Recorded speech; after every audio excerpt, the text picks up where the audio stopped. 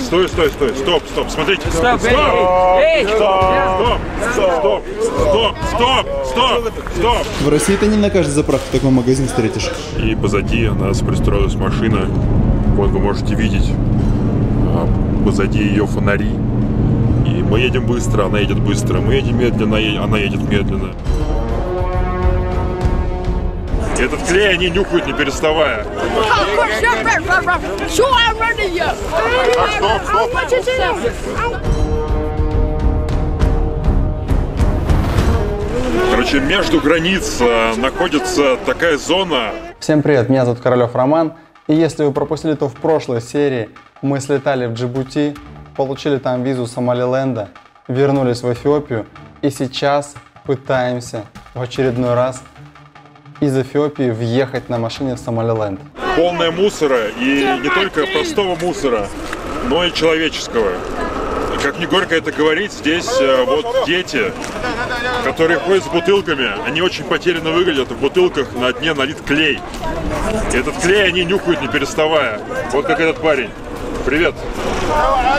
Мы решили подарить им гуманитарку эту и свою.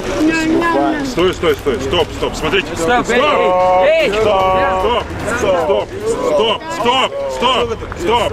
И смотрите, вот бутылка полная клея. Стоять, стоять. Вот так вот они нюхают. Короче, еще у меня есть кикимора, которую, я не знаю, зачем она им нужна. Это просто игрушка. Они, вряд ли они когда-то видели игрушки вообще.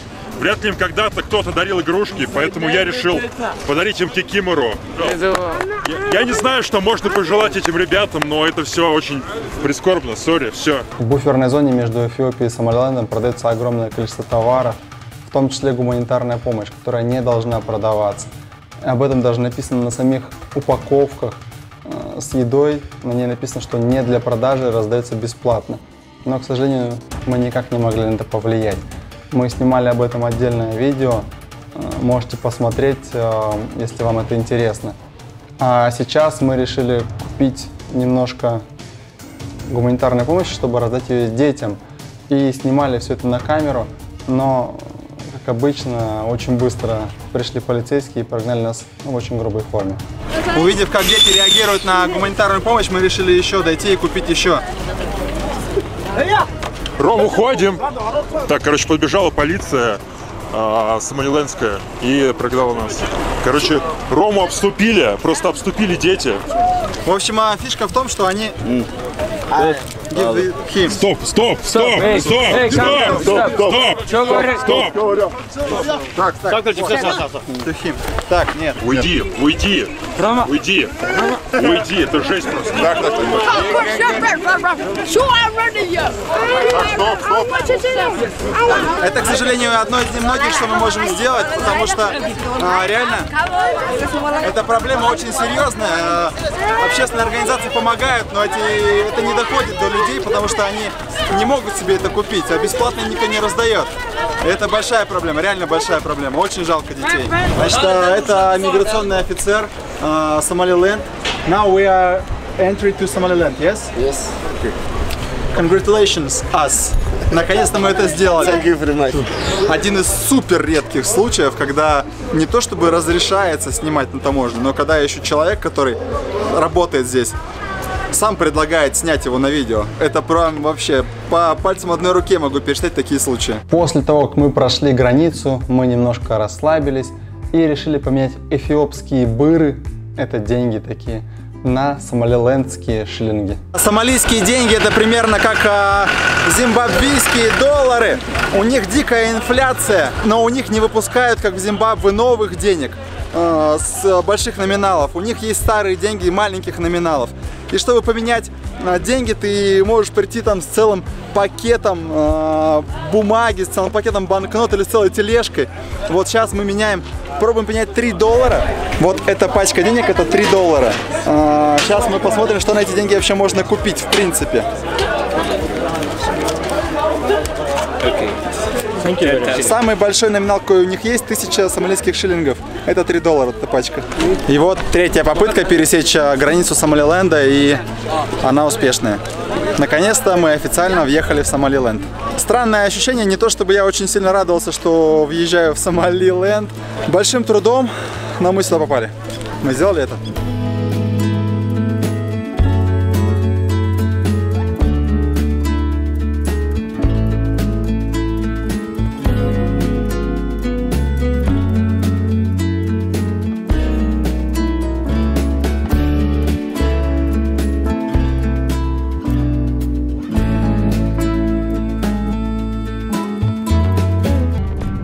Друзья, въехали в Сомали, едем по полной темноте, потому что здесь очень быстро темнеет, как и везде в Африке.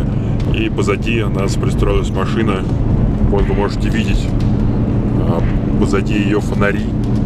И мы едем быстро, она едет быстро, мы едем медленно, она едет медленно, обгонять не хочет нас никак. Не знаем, что это за сопровождение, может быть, нас охраняют как раз, но вот такие дела. До города еще километров 40. Но впечатления пока двоякие.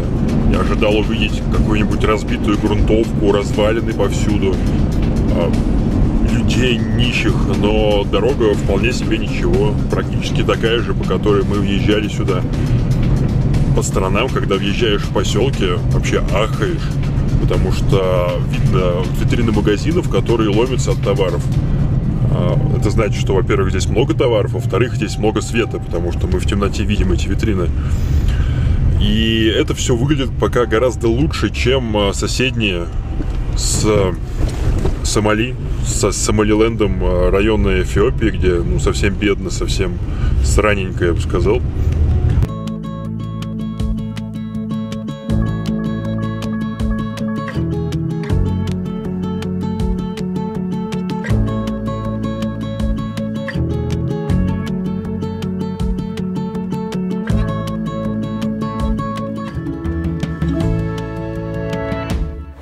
Знаете, я занимаюсь тем, что вожу туристические группы по миру. И одно из моих любимых направлений, я там был много раз, это западное побережье США. В один из дней по программе я максимально растягиваю программу, э, экскурсионную часть, чтобы въехать в Лас-Вегас максимально поздно, чтобы въехать в Лас-Вегас после захода солнца. Потому что Лас-Вегас ночью производит в тысячу раз более сильное впечатление, чем Лас-Вегас днем. То же самое произошло с нами, но неосознанно. Это произошло с нами, когда мы въезжали в столицу Сомалиленда, город Харгейзу. Огромное количество вывесок, всевозможных огней, реклама, витрины, товары, ломятся магазины, люди ночью гуляют, пробки из машин, пробки из людей. Все это произвело неизгладимое впечатление на нас, когда мы въезжали. После нескольких месяцев в Африке для нас это было как, как реально мы попали в Лас-Вегас. Но, правда, утром все стало на свои места. Вчера ночью, въезжая в Харгейсу, после нескольких месяцев, проведенных в Африке, такое впечатление, что ты въезжаешь в Лас-Вегас. Все в огнях, все везде горит, ярким светом, много вывесок, рекламы и так далее. Утром, конечно же, картина немного меняется, и Харгейса предстоит в совсем другом виде. Но, тем не менее, достаточно спокойный город на первое впечатление. Сейчас поедем посмотрим, что вообще тут есть и как живут люди.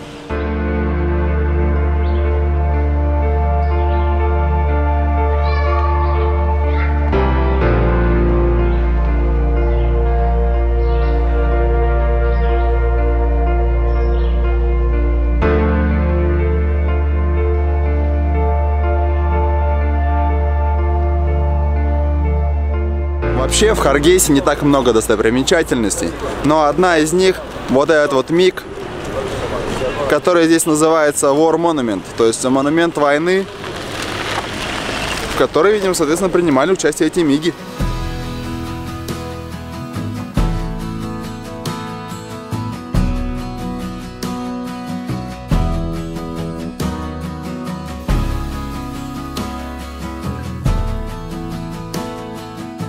Второй по значимости достопримечательностью Харгейса является монумент независимости, который находится сразу за шиномонтажом.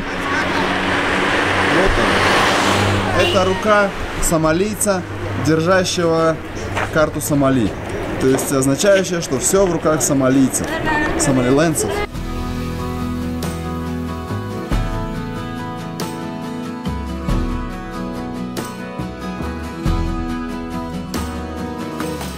Ассортимент местных магазинов достаточно богат.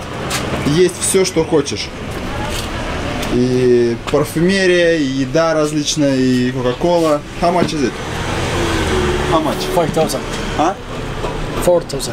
4000, это 40 центов. Вот самая, наверное, дешевая кола, которую я когда-либо покупал. Бутылочка за 40 центов. Обычно у них стандартная цена везде по доллару, ну около там плюс-минус. К нашему удивлению, здесь все хорошо с бензином. Бензин стоит 70 центов за литр, обычный бензин. Вот такая заправка и супермаркет вместе. И достаточно, знаете, достаточно цивильный большой выбор на заправке всего. То есть вот мы купили каких-то там напитков, э, еды в дорогу, пиво ребята взяли. И все вообще, в принципе, вот такой магазинчик. В России ты не на каждой заправке такой магазин встретишь. Пробыв в Сомалиленде не так много, всего лишь полтора дня и одну ночь, мы поехали дальше, навстречу приключениям.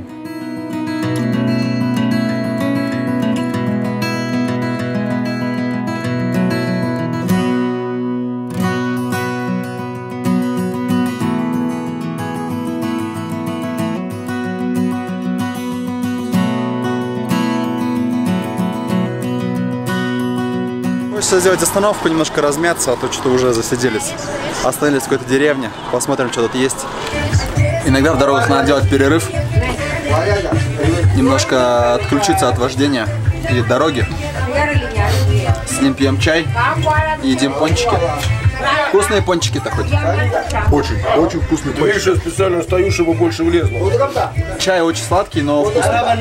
Трава. Пока видео не закончилось, я хочу попросить всех, кто смотрел до этого момента, подписаться на канал, поставить лайк. И самое главное, напишите в комментариях, про что вам больше нравится смотреть видео. Вам нравится смотреть видео про такие страны, как сейчас, э, не совсем популярные среди туристов, либо вам хочется смотреть более популярные направления Европа, Америка, Австралия. Напишите в комментариях, вы очень мне поможете. Спасибо. Hi, money, money, Money? money. For what? Yes. А? For what? В общем, они выучили слово money, но никаких других слов не знают. И все, что они знают, это говорят give me money, money. Я Yes. им говорю, за что?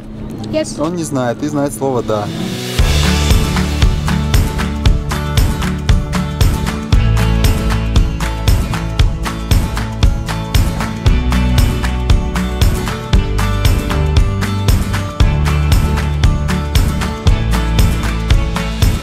Небольшие остановки в дороге.